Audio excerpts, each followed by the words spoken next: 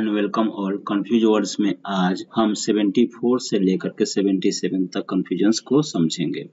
पहला होगा एबल और कैपेबल दूसरा होगा एडवाइस और एडवाइस दोनों को हम, दोनों को ही एडवाइस पढ़ते हैं। और फिर है एलूजन इसको एलूजन और इसको इलूजन पढ़ते हैं। फिर है एमिएबल एमी एबल और फिर एमी केबल हम इस तरह से पूरे ये चारों कन्फ्यूज़न को दूर कर लेंगे। पहला है एबल एबल मतलब योग्य। योग्यता नहीं, योग्य।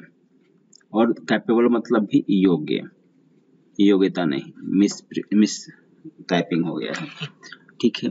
तो एबल मतलब योग कैपेबल मतलब योग।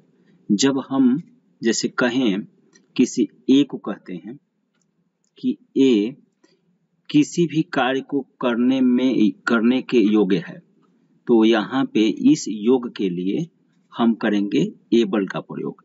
लेकिन वही कहते हैं कि बी अगर कोई बी पर्सन है बी टीचिंग कर B particular work singing singing singing करने के योग्य है। तब हम कहेंगे कि बी कैपेबल है। क्या मतलब समझते हैं? कि योग का मतलब किसी विशेष कार्य की तरफ़ करेंगे, विशेष कार्य के लिए करेंगे तो यहाँ पे योग की इंग्लिश करना पड़ेगा कैपेबल लेकिन योग का प्रयोग अगर जनरल सेंस में करते हैं आप तो वहाँ पे एबल करना पड़ेगा. तो Ram is able to teach Ram अध्यापन के योग्य है. राम अध्यापन के योग्य है. Meera is capable of teaching maths Meera maths अध्यापन के योग है। मीरा मैथ्स अध्यापन के मतलब तो यहाँ पे मैथ्स की बात कर दिया है, किसी विशेष वस्तु की बात कर दिया है तो यहाँ पे कैपेबल डालना पड़ेगा। इसके बाद है एडवाइस और एडवाइस आप देख रहे होंगे खाली अंतर है सी का और एस का। अगर सी रहेगा तो सलाह, जो कि एक नाउन है और एस रहेगा तो सलाह देना जो एक वर्ब है। एडवाइस का यूज़ करते हैं। A sincere advice is valuable sincere मतलब सच्चा। एडवाइस स्त्रीलिंग है तो सच्ची कर दूँगा, कर देंगे। सिंसियर एडवाइस इज़ वैल्यूएबल एक सच्ची सलाह बहुमूल्य होती है। एक सच्ची सलाह बहुमूल्य होती है। और एडवाइस मतलब सलाह देना। The doctor advice Ram complete rest doctor ने सलाह दिया राम को कंप्लीट रेस्ट मतलब कंप्लीट रेस्ट करने के लिए। तो डॉक्टर ने राम को कंप्लीट रेस्ट करने के लिए सलाह दिया। इसके बाद है 76 एलुजन एलुजन मतलब प्रसंग। प्रसंग का मतलब आप कह सकते हैं बातें। हम्म बात कह सकते हैं। जैसे आप कुछ उदाहरण देते हैं कि मैं जब पढ़ रहा था तो मेरे यहाँ बहुत ब्रिलियंट बच्चा था और वह जिस तरह से पढ़ता था उसका उदाहरण दे सकते हैं। तो उसी को बोलते हैं प्रसंग, जो बातें पीछे की होती हैं। देर आर मेनी एलुजन्स बहुत सारे प्रसंग हैं। ऑफ़ माई स्ट्रगल मेरे संघर्ष के इन माई लाइफ मेरे जीवन में।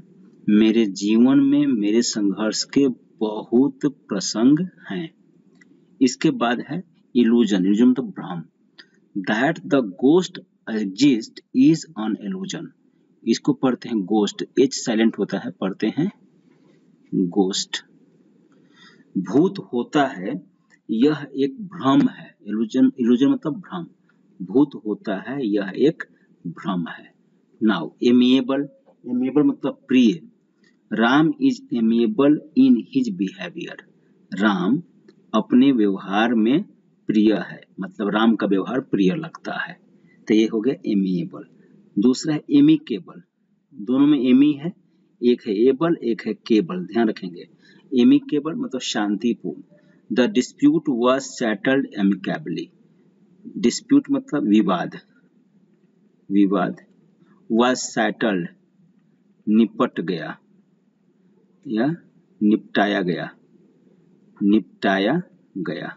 ऐसी वॉइस है द डिस्प्यूट वॉज़ सेटल विवाद निपटाया गया एमिकेबली एमिकेबली मतलब शांतिपूर्ण तरीके से.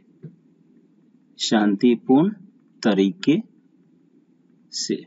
विवाद को शांतिपूर्ण तरीके से निपटाया गया.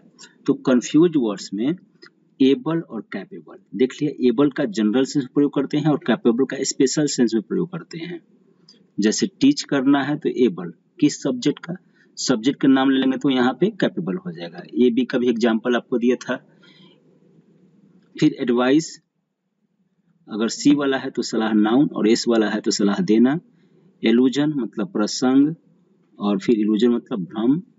एमिएबल मतलब प्रिय और एमिकेबल मतलब शांतिपूर्ण।